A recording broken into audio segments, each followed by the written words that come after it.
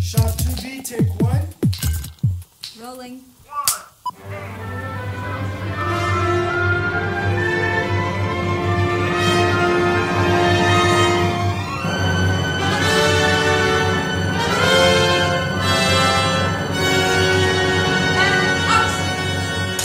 Welkom bij de Fair Striptease Show. Ik ben jullie presentator Boy en dit is mijn assistente Bonnie. En jullie, jullie zijn de kandidaten. Kandidaat op de gele stip, wat is je naam?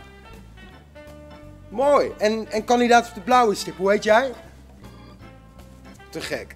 De spelregels zijn simpel. We hebben drie rondes, één rad. En wie de meeste eerlijke kleding heeft, die wint. Een eerlijke kleding is kleding waarbij rekening wordt gehouden met het milieu en met de mensen die het maken. Op het rad staan allemaal kledingmerken. Rood is fout, dit zijn oneerlijke merken. Komt het rad op rood en heb jij kleding in je kast van een merk dat erop staat, dan ben jij niet eerlijk bezig en moet je onmiddellijk iets uittrekken. En groen is goed. Heb jij kleding in je kast van een merk dat daarop staat, dan mag je weer wat aantrekken. En we hebben het stripvlak en dat betekent strippen. Trek wat uit, maakt niet uit wat. Oké, de Fair Striptease Show kan beginnen. Ronde 1. Bonnie.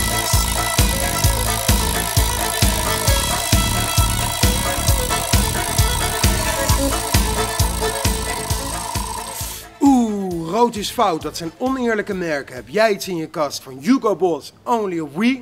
Dan moet je onmiddellijk iets uittrekken. En eh, wel eerlijk zijn, hè? Striptease!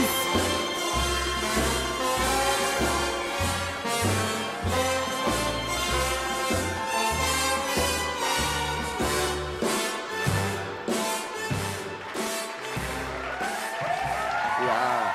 Ronde 2. Bonnie!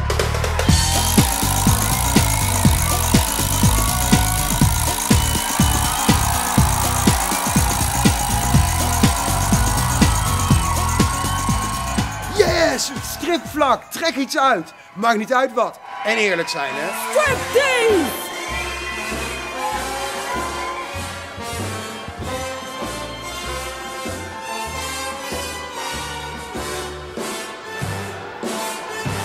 Lekker hoor.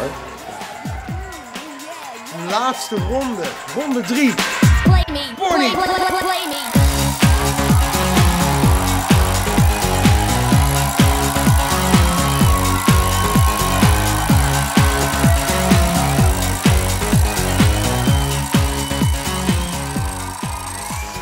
Is goed. Eerlijke merken. Als jij iets van Koichi, Jesus of H&M in je kast hebt hangen, ja, dan mag je weer wat aantrekken. Maar het hoeft niet hoor. Oké, spannend. Moment van de waarheid. Oh, Wie van jullie heeft de minste kledingstukken op de grond liggen? Wie van jullie is het eerlijkst? Wie is de verstripper van vanavond? Wil de winnaar één stap naar voren doen en eh, klop jezelf op de borst, want jij bent een eerlijk mens. Jij bent de verstripper van vanavond. Gefeliciteerd!